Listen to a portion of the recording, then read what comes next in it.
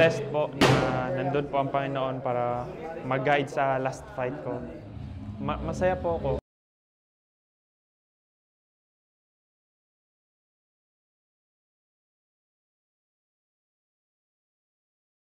Ah, araw na ito, sa, dahil sa fight na ito, ah, nangyari. At gusto ko rin magpasalamat sa daddy ko at saka sa mga taong sumusuporta sa akin at sa pamilya ko. Yun po. Introducing the fighter coming into the ring, Gerson Baklovan.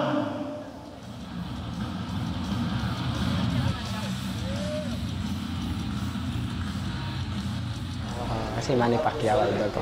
Dati ko po siyang pinapanood eh. Tapos idol din ng mga ano ko, magulang.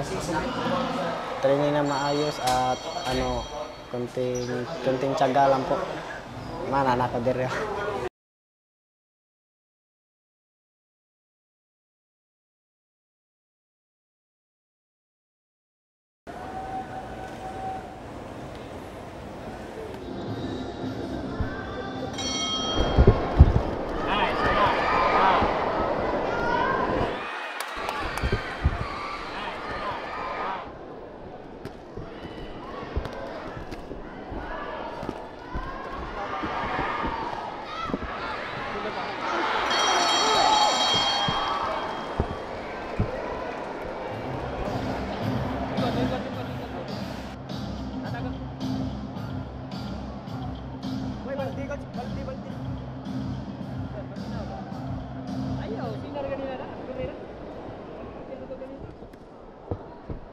Done.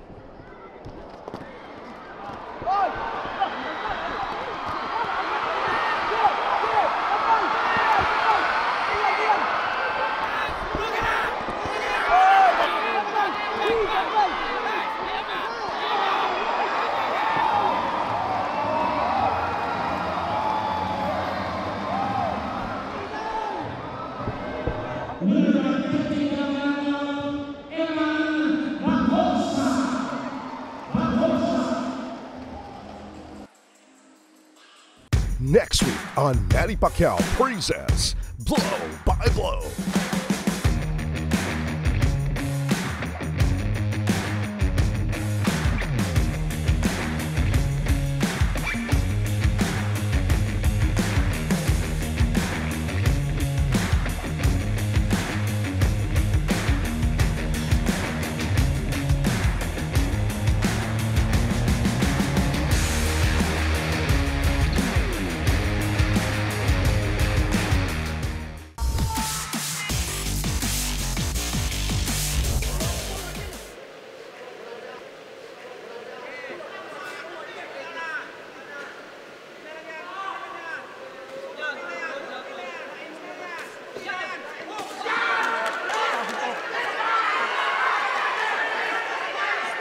Shot to the body by both these fighters. Oh,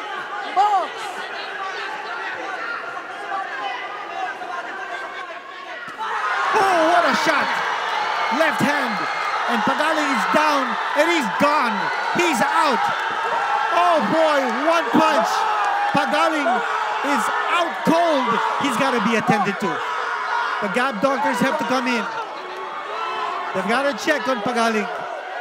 What a punch coming from Kenneth Llover. He is the new Gab Philippine Youth Bantamweight champion. But before anything else, you've got to come to the aid of Pagaling. He's still down on the canvas. There's oxygen now being administered. There will be a need for a stretcher. But let's check out what happened here. That punch of the round. One punch. Makita natin ang opening. Sabay. Sapul na sapul yun. You watch it here. The opening will come up. Yun. Just when the right hand of Pagaling went down, nakita ni Jover. And, you know, we noticed that Jover abandoned his right jab. Uh, from different angle, we saw that. Just one punch, getting the job done.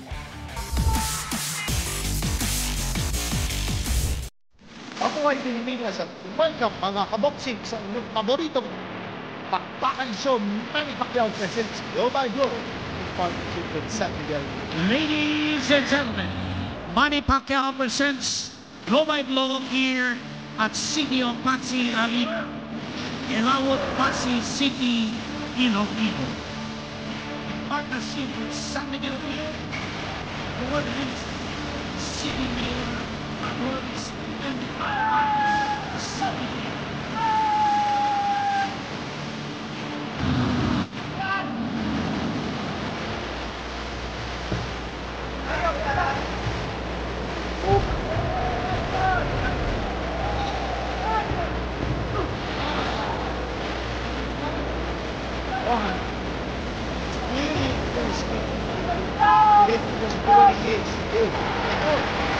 And stops the fight. Every one of us is stopping the fight.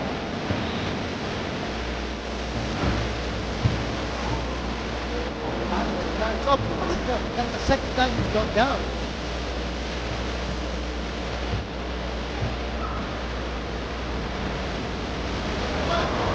Naman,